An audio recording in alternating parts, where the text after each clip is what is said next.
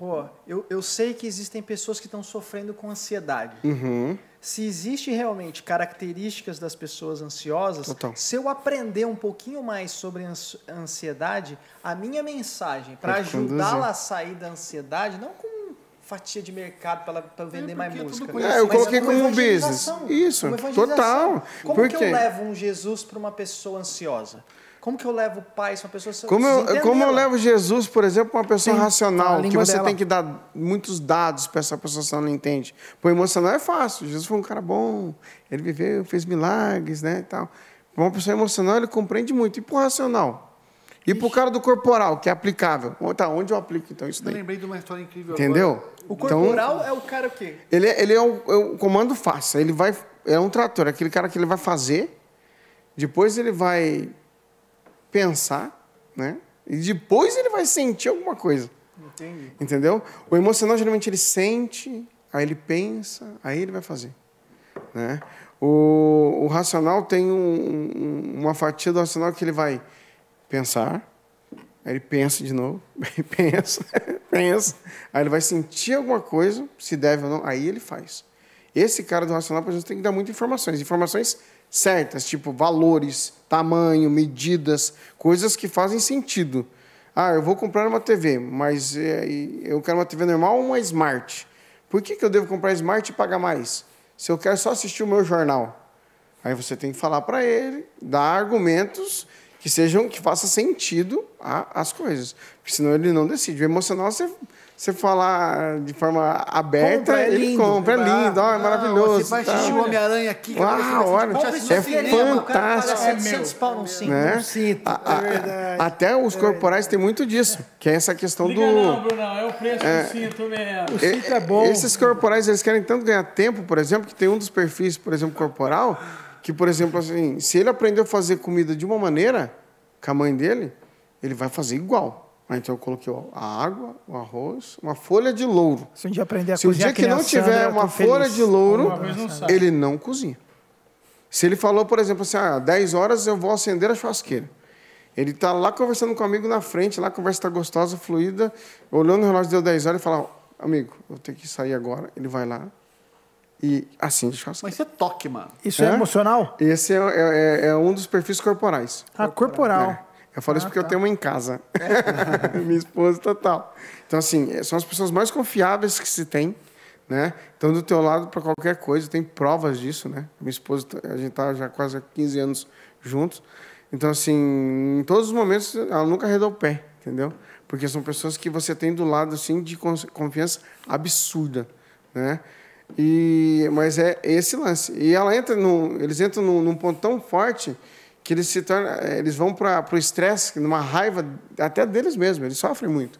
Porque, tipo assim, ah, o Brunão, supõe que o Bruno, ele não é, mas supõe que o Brunão seja um corporal. não é, Eu falo, Brunão, o Brunão não tá lá é. lavando o carro. Fala- a semana inteira ele falou que lavava o carro domingo de manhã. Aí chega, Brunão, tá tendo uma promoção de picanha lá, 50%, Brunão. Vamos lá comprar. 20 merréi o quilo. Ele, ele, cara, eu adoro carne, eu adoro uma picanha assada, mas eu falei que eu ia lavar o carro. E ele não vai. Ele Ah, não, sofre. não sou- não sou e ele mesmo. vai Eu continuar. Não, você não é mesmo. ele vai, continu, ele vai continuar gritando ali dentro, lavando o carro com raiva, "Putz, mas a picanha e tal. Mas ele não deixa, porque ele, ele é uma pessoa de confiança e para ele mesmo. Aquilo que ele fala é regra. Entendi. tipo assim, então eu não sou uma pessoa de confiança. Posso, posso só fazer uma pergunta? Ah, não, É legal porque quando você Ah, lógico. começa a colocar as características, a gente tenta se ver, né? É, existe, assim, pessoas que vão um pouquinho para cá, um pouquinho para lá, e falam assim, ó, nesse, pô, eu já me vi como racional, já me vi como corporal, mas eu sou corporal ou racional? Ou eles se entrelaçam? É sempre assim. É um sentimento que aconteceu lá que desencadeou, que tem um nível muito grande. Mas geralmente a gente tem de tudo. Né? Nós temos um perfil, por exemplo, os três emocionais. Nós temos um que é doação, que ele só faz sentido para ele se ele puder ajudar alguém, né? Estar ajudando, ou, ser, ou eu, eu, ah, não, eu sou é, necessário aqui, então ele já se vê como isso, ele já se vê como necessário na roda, né? né, de amigos, no trabalho, é aquela pessoa que está o tempo, ah, você precisa de ajuda? Você precisa, não, ele quer ajudar, ele é movido pela doação. Temos um outro perfil, sempre dentro do, do, do- dos três perfis, dos subtipos que a gente chama, tem um perfil, por exemplo, que ele parece que não é um emocional. Nesse caso, é o segundo perfil emocional, que ele é movido pelo resultado. Ele, tudo que ele faz tem que dar resultado para ele. Mas ele, então, esse, esse que tem que dar resultado, ele é emocional? ele é emocional. É, ele, ele quase que contrai o tipo dele, ele, ele quase engana, parece que não é. Mas ele é total. Ele é muito movido pela, pela vaidade, né? Da conquista. Pela sensação. ele vai ter o carrão. Pela- É, esse cara, por exemplo, que, que fala, ó, tá vendo aquela Lamborghini lá, arrasta para cima aí. E Você pega esse cara na propaganda. Porque ele é movido pelo status, ele é movido pelo, né? É, pela conquista. Vou namorar uma modelo, vou namorar uma pessoa que tem uma referência muito grande, porque nem que ele não goste. Mas, tipo, para mim, vai, eu, os outros vão me ver como o cara diferencial, o cara do momento. Então, esse é um perfil. Aí nós temos outro perfil que é movido, um que é movido pela tá inveja. Inveja. Inveja, que era assim, ele- é de se enxergar, de inveja. Não é inveja, é inveja. Esse perfil se compara demais. Ele é inseguro demais. Entendeu? Então a coisa pode estar perfeita, ele pega uma pá de cocô e pá, joga em cima. Então ele quer ser- se tornar único, ele quer ser único, ele quer ser visto como único. Só que ele sofre demais, ele vai para um nível depressivo muito forte. E ele sempre assim, sempre foi muito bom ou vai ser muito bom, nunca é agora.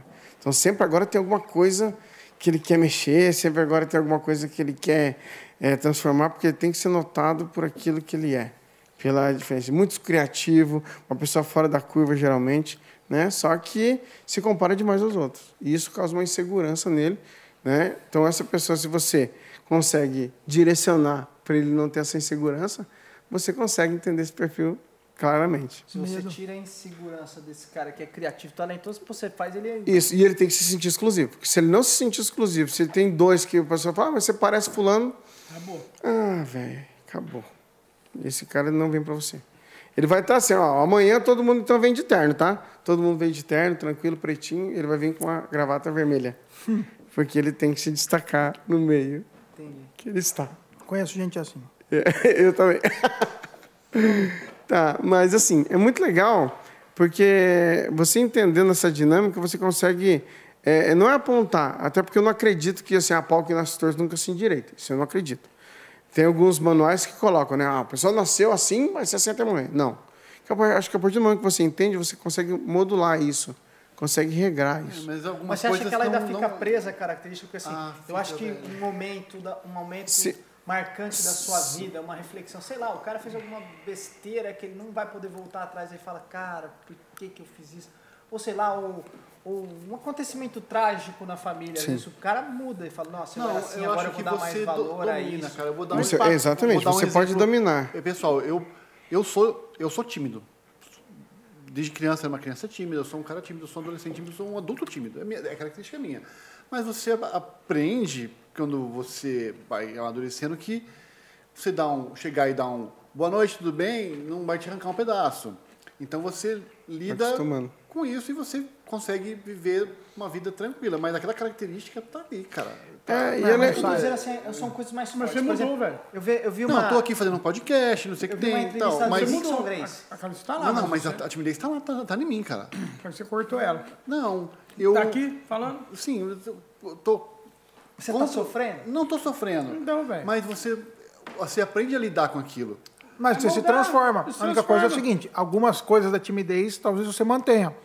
Por- que não seja necessariamente É, essa situação. eu- Não é principalmente uma- em situações. A pergunta é, é quase assim: quando você de- deixa que aquela característica sua seja limitante a você, É, quando ela começa a prejudicar. por exemplo, podia prejudicar. Ele aprendeu a ele fala, aprendi a lidar. É. No momento que ele aprendeu a lidar e começou a ir pra frente, talvez ele não seja o cara mais espontâneo do mundo, Sim. mas ele também não é mais um mais Não, tímido. porque Então, ele começa a trabalhar ele- isso. Mas ele chega a mudar ou não? Ele não chega a zerar totalmente, porque aquilo é muito enraizado e vem de anos, né? Pensa quantos anos muitas vezes a gente carrega uma crença, uma dor. Mas assim, é, você pode alterar isso, pode fazer com que ela não te prejudique mais. Daí entra a repetição. Aí se você sabe, vai, vai para repetição que é muito mais fácil. Aí tem gente que só vai mudar, por exemplo, com choque emocional novamente. Aí que é o problema, porque o choque emocional geralmente é doloroso. Ou é com a perca de alguém, Ah, por exemplo, ah, se você fosse mais assim, talvez aquela pessoa não tinha te deixado. Aí você cai num choque, você cai num buraco, E daí muda. você fala, putz, agora tem que mudar, porque senão vai repetir de novo. Então Mas eu não quero do mais que- isso para minha vida. Mas o que você, você falou um negócio interessante no começo.